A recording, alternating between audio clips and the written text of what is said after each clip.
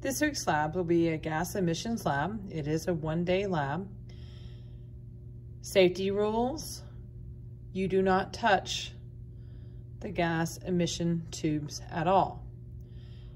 If you watch when I change out the emission tubes, I will not put my hands on it at all. I will have some kind of cloth covering protecting the tube from the oils in my hands. So what are we doing?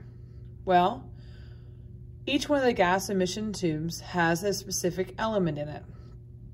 And we mentioned before that each element has spectral lines associated with it that help identify it. In fact, in astronomy, that's how we figure out what's out in space.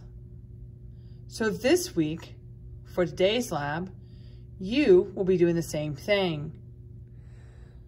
So we'll be using what's called a spectrometer.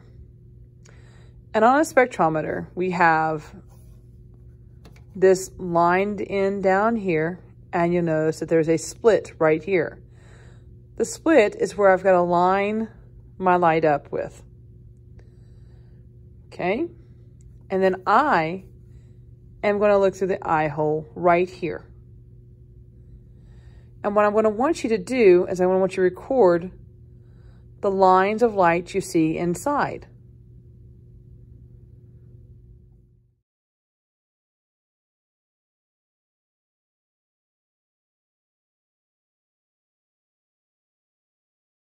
Okay. So I'm trying to show you what it looks like on the inside. And here I have it lined up with the mercury tube and you'll see there's some lines showing up there.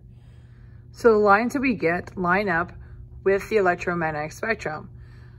So make sure that you have near you an electromagnetic spectrum with the visible lines, visible light on there.